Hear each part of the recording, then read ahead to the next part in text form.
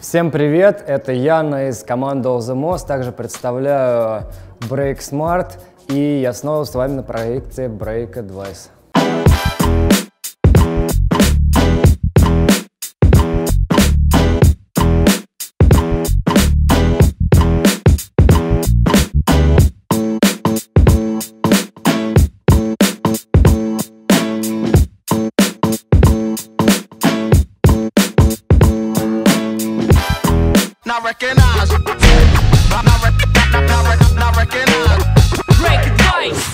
А, Сегодня я хотел бы рассказать вам о нескольких э, базовых концепциях, используя которые вы могли бы, скажем так, разнообразить свой танец, даже используя совсем самые простые движения и захода.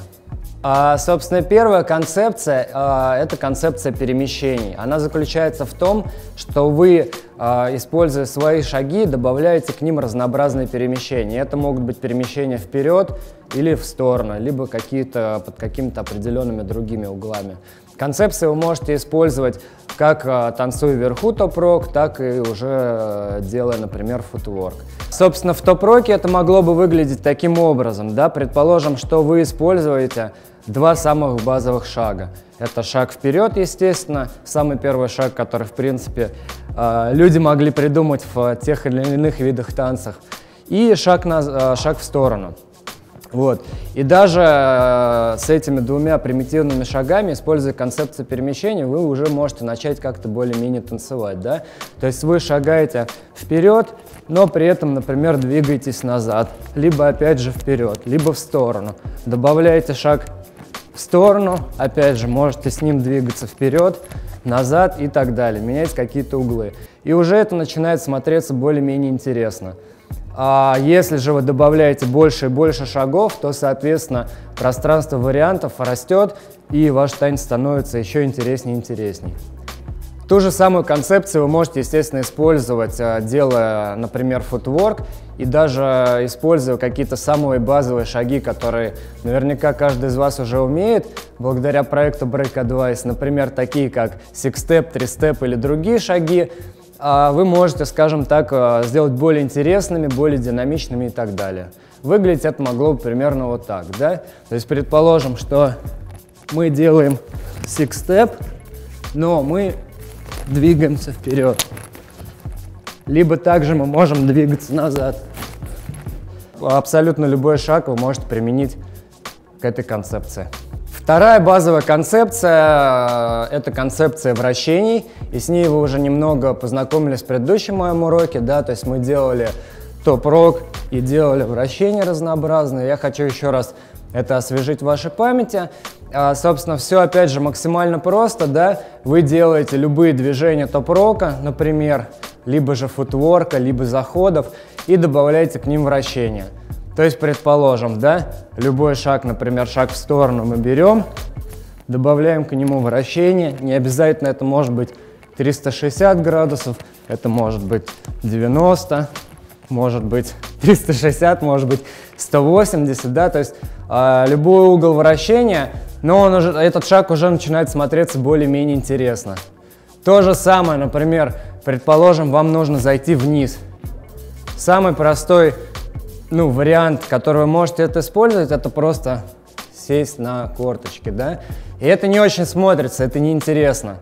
Но используя вращение, это уже смотрится более-менее как-то динамично. Если вы добавите еще какую-то деталь, предположим, например, подпрыгните, это первое, что пришло мне сейчас в голову, да, вращение, зайдете вниз и сделаете какую-то еще деталь, то это будет смотреться еще интереснее. Соответственно, пространство вариантов безгранично, используйте это. Можете применять это также в футворке, да, то есть делать а, какие-то, может быть, остановки, после них вращения. То есть, да, можно делать опять вниз, вверх и так далее. То же самое с выходами из а, ваших движений. То есть, предположим, вы делали футворк, либо что-то еще, и встаете вверх не просто, а встаете вверх, опять же, на вращении. Смотрится более динамично и, на мой взгляд, интересно. Ну и, собственно, третья концепция, о которой я хотел бы сегодня рассказать, это концепция использования уровней. Концепция уровней подразумевает под собой то, что вы разделяете, э, скажем так, э, свое тело на три условных уровня. Это может быть также 5, может быть 10, 20, неважно, да. Я всегда беру три условных уровня и между ними стараюсь сделать максимальное количество перемещений, да. То есть, предположим, верхний уровень — это топ-рок, а если мы возьмем, например, фризы, то это может быть какой-то фриз на руке. Если мы возьмем Power Move, то это может быть, например, 99 или Air Twist.